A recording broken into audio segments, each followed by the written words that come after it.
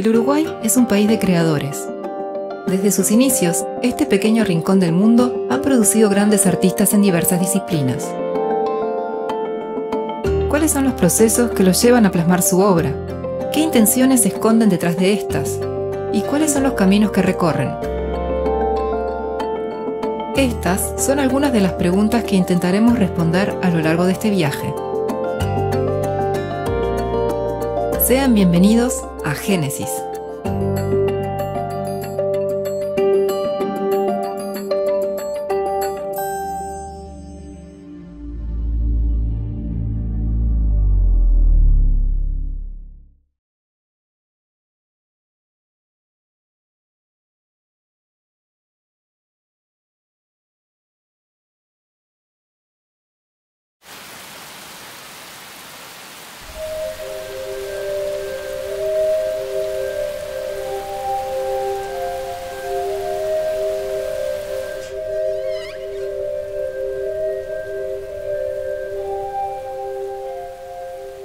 Bueno, este, empezó, yo soy de La Paloma, eh, Rocha, este, y siempre, siempre digo medio en joda como que no, no es una historia muy romántica, de esas, de esas que en la familia hay una cámara antigua o el padre era fotógrafo y qué sé yo, o artista, pintor y bueno, no. Pero me, me tocó de más grande, de más grande y en un contexto laboral de los primeros trabajos. Pero en eso encontré, encontré una profesión y encontré algo que, realmente me gustaba, que tenía ganas. Y me vine a Montevideo ya súper decidido, ahora sí, a estudiar fotografía en el Fotoclub Uruguayo. Este, empecé a estudiar, empecé a trabajar a su vez. Ese trabajo me llevó a otro medio y a otro medio. Empecé a crear una especie de, de línea un poquitito más autoral, este, no más autoral, pero más consciente.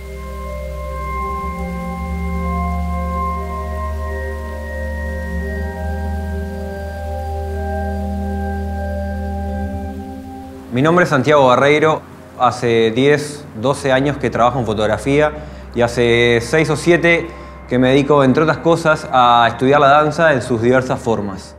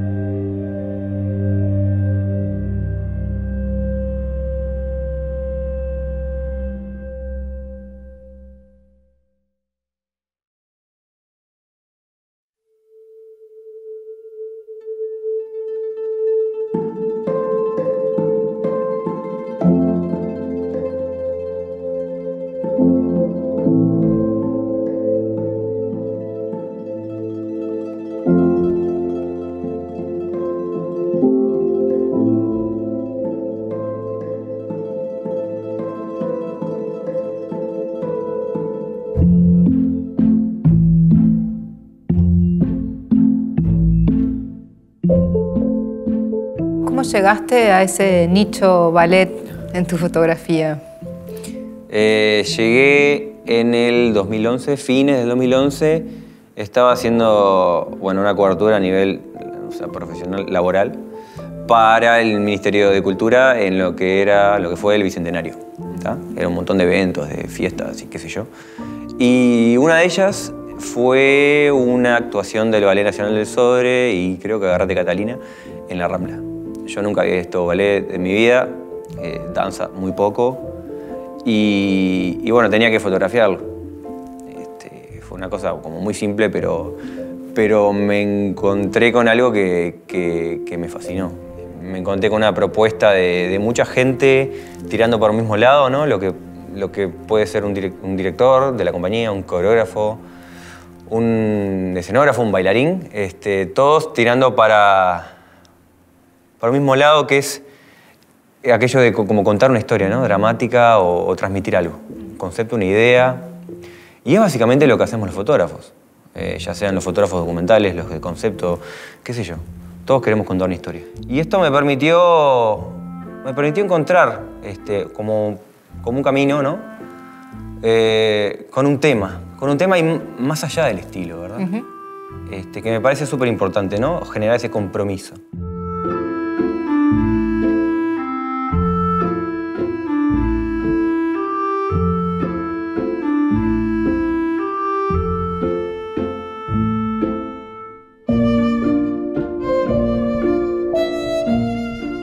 Eso te llevó a hacer una búsqueda de estilo por dos caras. Por un lado, empezaste a trabajar como fotógrafo para el Ballet del Sodre, pero por otro lado empezaste con un proyecto personal que terminó en un libro, Pueblo Ballet, que fue también como una búsqueda de, salir de ciertas cosas. Ah, fue súper, eh, fue interesante y fue muy divertido porque salíamos a la calle con, este, con un bailarín, bailarín, bailarina, y bueno, tratábamos de como sorprender a una persona en la calle, en donde sea, siempre como sin, sin avisarle, ¿verdad? Y, ver qué pasaba. Y las reacciones eran muy variadas, este, desde sorpresa hasta como que, claro, las personas se corrían, ¿verdad? Porque uno ve, un, no sé, un fotógrafo o un rodaje en la calle y lo primero que tendés a hacer es a, a correrte, ¿no? Porque entendés que no sos el protagonista. Pero en este caso lo eran, o sea, era la búsqueda y se generaban dualidades este, muy interesantes.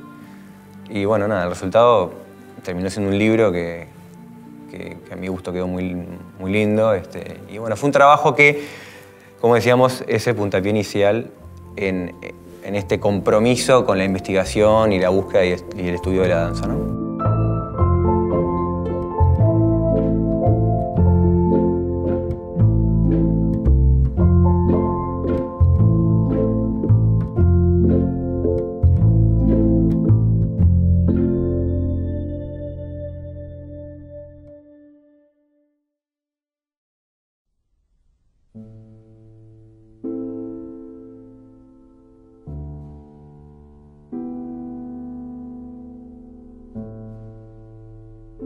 Proyectos fotográficos más importantes es Alienación. Contanos de qué va. ¿Qué pasa? Al trabajar muchos años con bailarines empecé a ver que había muchas preguntas que ellos mismos se hacían, sobre todo al llegar a cierta edad, ¿no? Ellos vienen de una estructura súper clásica de danza y como que en algún momento, no todos, pero una gran cantidad, eh, se empieza a cuestionar hasta dónde son ellos los que interpretan este, los roles, ¿no? O sea, tienen el poder de contarlo a su manera, pero no están contando digamos, su propia, historia. Entonces, de alguna manera, ciertos bailarines llegan a una edad en que les, como que les genera una inquietud empezar a hablar de ellos, ¿no? Pasa mucho en la danza contemporánea. Entonces, me pareció que estaba bueno eh, hablar de ese proceso de, que viven durante muchos años, que es, decir, es como que están enajenados, ¿verdad? Como que no están tan libres con respecto a la interpretación. ¿Y cómo plasmas esta propuesta? Y la propuesta, como venía eh, trabajando el hecho de que son historias, o sea, o conceptos que surgen en una época bueno, muy antigua y que desde ahí viene la opresión hacia el bailarín, me pareció correcto ponerlos en un contexto antiguo, eh, en algunas ocasiones de ruido, ¿verdad? De alguna manera esa estructura alude al poco margen que tiene para contar su historia, o al, nulo. De hecho, en las fotos eh, no se les ve la cara. No, justamente bueno, eso alude directamente a que no son ellos. Y las expresiones que, que, ven en el cuerpo a veces tienen un poco como de queja, ¿no? O sea, siempre tiene una, una, mitad de estructura clásica a la que no se pueden eh, escapar, de la que no se pueden escapar, y por otro lado en las manos o en el pelo se ve un poco el descontento o la necesidad de expresar sus propios, nada, su propia historia. Sí, incluso son situaciones como imposibles físicamente, ¿no? De, llegar al límite. Sí, exacto. Sí, sí. Bueno, eso también te lo da el, tipo de artista con el que se trabaja, ¿verdad? O sea, llevar ese descontento a un nivel que, a una persona, digamos, normal, entre comillas, no podría, ¿no? O sea, una mano extendida atrás del cuerpo, un, un salto increíble donde se agarran las caras y, bueno, es un juego entre lo, como que quiero escaparme y no puedo.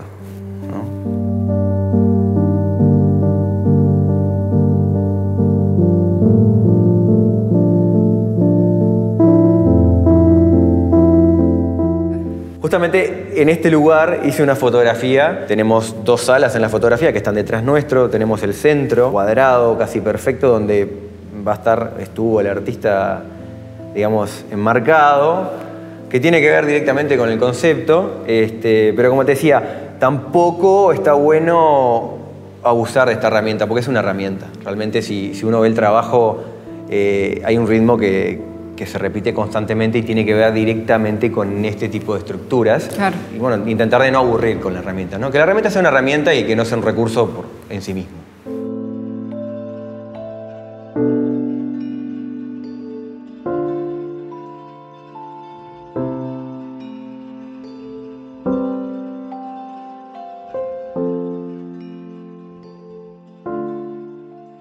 Este proyecto de alineación también te, te generó un planteo que vos eh, trabajabas siempre con el, con el cuerpo, con la bailarina o el cuerpo femenino.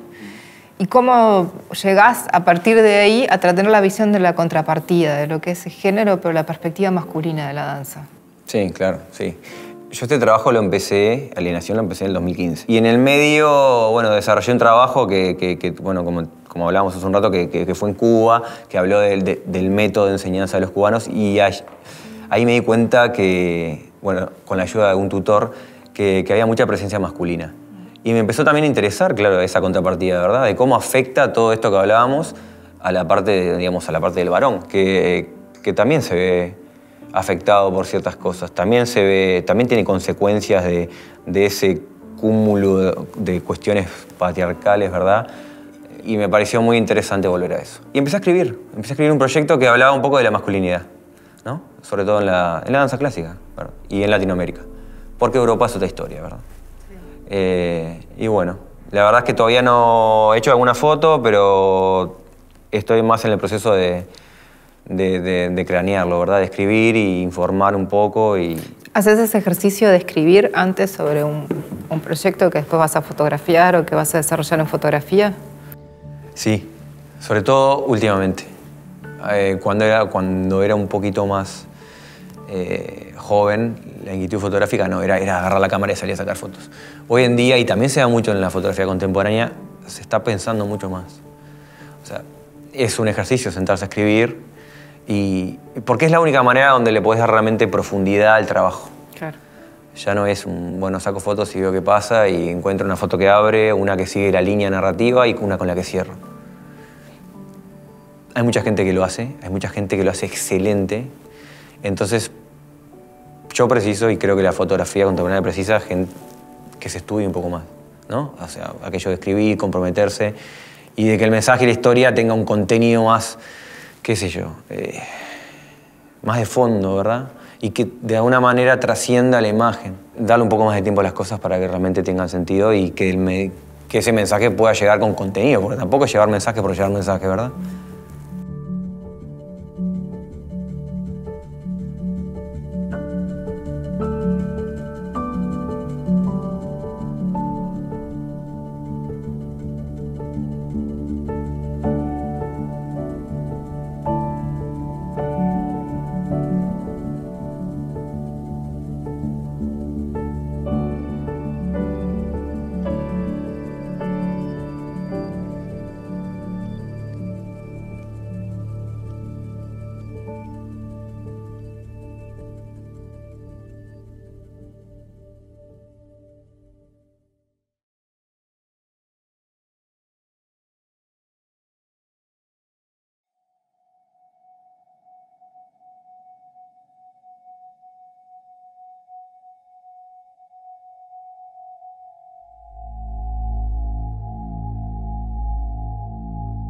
La verdad que no, no sé mucho, se ve que es una cosa que, que natural, digamos, que, que tenía.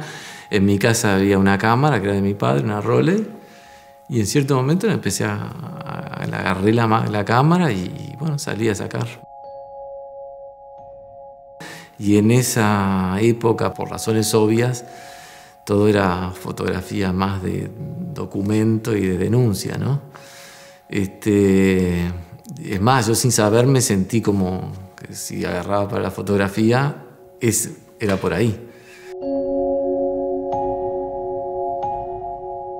ni siquiera me daba cuenta que estaba incómodo, pero después cuando encontré otros caminos o, cosas que me salían, este, ahí sí sentí una comodidad. ¿no? Uno tiene naturalmente, sale, ¿no? No lo puedes tapar tanto. Hola, mi nombre es Álvaro Sino. Mi actividad oficial avalada por la UDELAR es que soy ingeniero civil. Hago comerciales de televisión tanto en la parte de dirección como en la postproducción y además soy fotógrafo.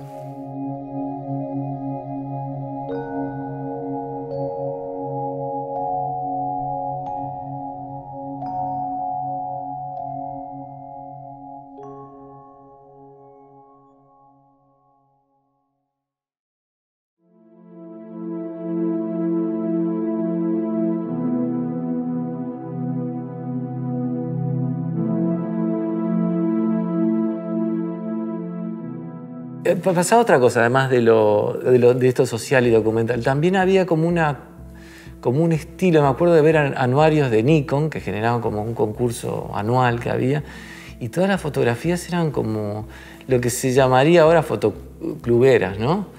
Este, todas son con la luz este, y, ¿no? y algo, algo una composición, este, ángulos extremos un poco todo sensacionalista, digamos, por decirlo de alguna manera. Y bueno, sí, este, influyó mucho que yo, no sé, en esa época me hice socio de la, Biblioteca Artigas Washington, que está en la Alianza Uruguay-Estados Unidos, y encontré en esta biblioteca libros impresionantes de fotógrafos americanos y algunos europeos, ¿no? Yo qué sé, Weston, Argus, Steigen, Stiglitz, este, te, genera un, como una, un descanso saber que hay, que, que, no, que, está, que hay otros caminos también, ¿no? Y ahí me sentí cómodo y me sentí como más... También conocí a algún fotógrafo este, acá en Montevideo y me ayudaron a... Bueno, está, yo saco esto, ¿no? Es lo que, lo que me sale. Y ahí sí ya me, me fui más para el formato cuadrado, digamos.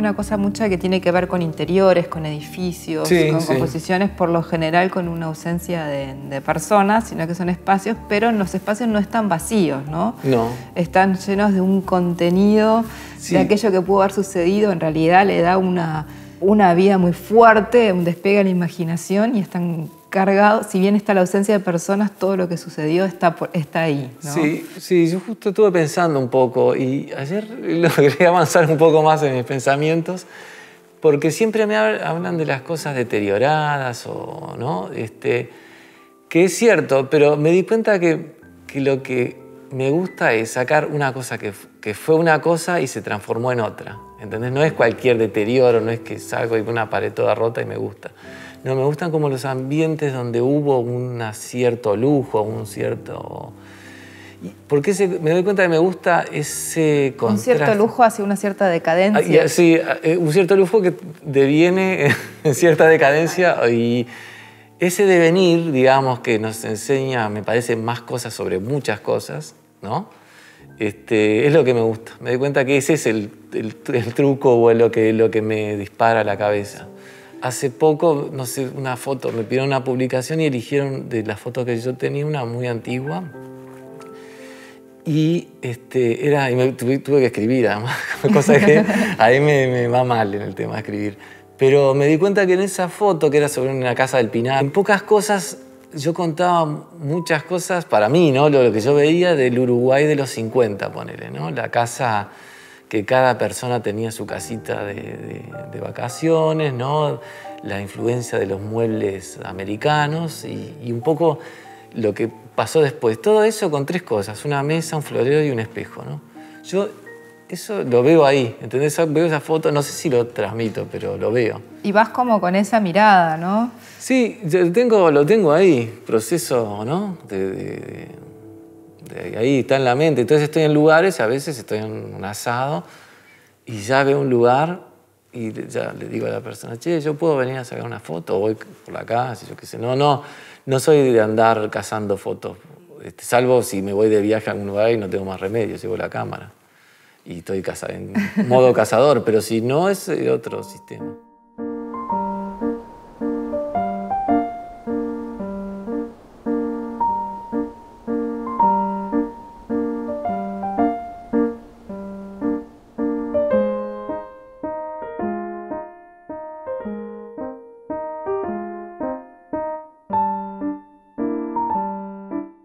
Con el avance de la fotografía digital, Sino comienza a investigar las posibilidades de la postproducción y la manipulación en la imagen, logrando como resultado series como Donde duermen las cosas, en donde la extraña representación de objetos sin sombras lógicas da lugar a un universo surrealista y onírico, que parece salir directamente del subconsciente del artista.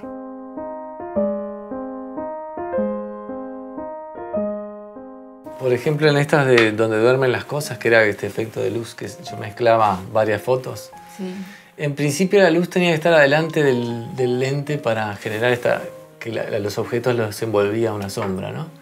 Pero acá, como no me daba tanto, son tres fotos. Ay, perdón.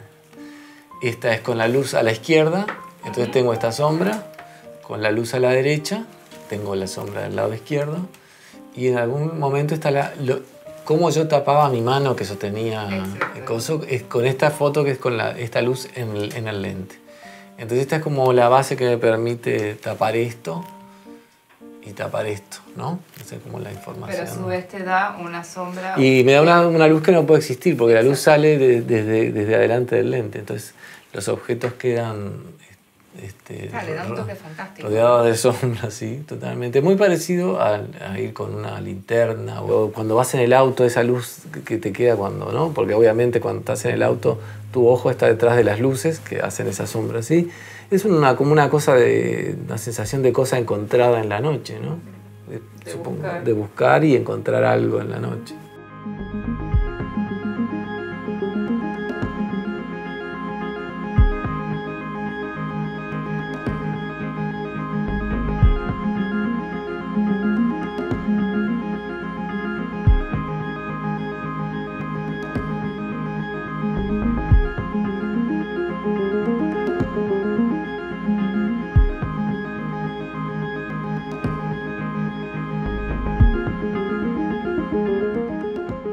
Tiene que ver eso también, ese tema del trabajo en la postproducción y el poder pensar después sobre un material base, qué vuelta le puedo dar. No, bueno, pero ves, ahí te digo, eso no es así, yo no, no es así, se me viene todo el pack junto, no es que, bueno, tengo esta foto, ¿qué puedo, ¿cómo puedo mejorar esto? No, no, es un... ¿Es, de, de, entrada? Es de entrada eso, después sí, obviamente, cómo que me funciona, que esto no funciona, que esta idea no sirvió para nada pero, pero trabajás un poco. Aquí trabajé un poco. Incluso en las... Eh, eh, si bien mis fotografías anteriores son como muy compuestas, muy equilibradas, en estas, que si bien, si bien lo son, traté de que fueran como más documentales. La cámara está inclinada, los ángulos no son tan frontales, las otras son... Pero también es un poco trampa. Es más, en algunas llegué a girar el, el cuadro para que pareciera una cosa más de flash de la noche.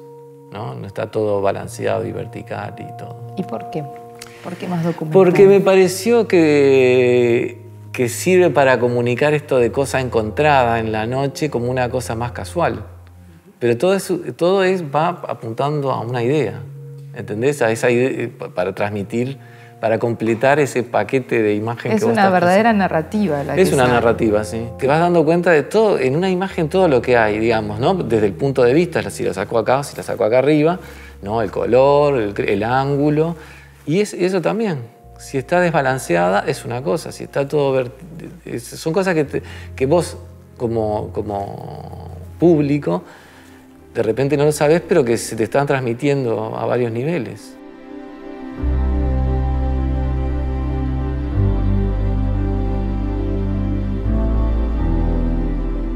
En la serie Fantastic, Sino vuelve a utilizar la postproducción como medio para crear una obra, retratando edificios antiguos en un juego de luces que da como resultado un universo particular con toques fantásticos.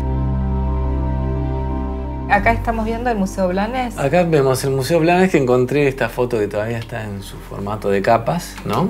y ves este, la foto de noche. Bueno, acá tiene una, una capa de corrección de color, no sé cuánto. Y acá ves cómo está insertada, ya está cortada, no la puedo mostrar. La foto que saqué de día con el sol. ¿no? Si yo saco la foto de la noche me queda solo esta parte. Esa parte. Que es una foto de día.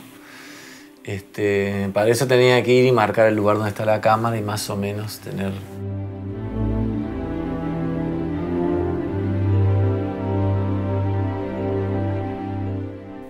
Ya te digo, tiene el problema de que tengo que ir dos veces al lugar, una de día y otra de noche. Pero en eso estoy ahora, en este tipo de fotos.